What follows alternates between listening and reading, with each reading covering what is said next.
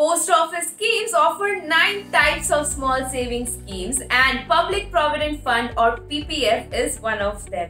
Most of these post office schemes offer income tax exemption under triple EEE, investment, interest earned, and maturity amount category. This income tax exemption is available under Section 80C of the Income Tax Act However, one can avail this exemption on investment up to rupees 1.5 lakh in a financial year and this cap includes all investments under the heads listed under section 80C means PPF, EPF, ELSS mutual funds etc. PPF accounts can be opened in the post office by a single visit. After that, now a post office PPF account holder need not visit the home post office branch to deposit money in one's PPF account.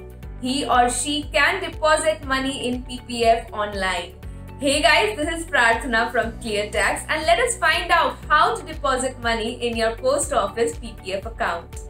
PPF account holders can transfer money online from one's bank account to post office PPF account via India Post Payments Bank or IPPB app. Now add money from bank account to IPPB account. Now go to DOP products, choose PPF, write your PPF account number, DOP customer ID, choose the installment, duration, amount, etc. IPPB will then notify you for successful payment transfer made through the app. Now PPF account holders for alternative can transfer money using the Dark Pay digital payments app as well. A minimum deposit of rupees 500 per year is required to keep the account active.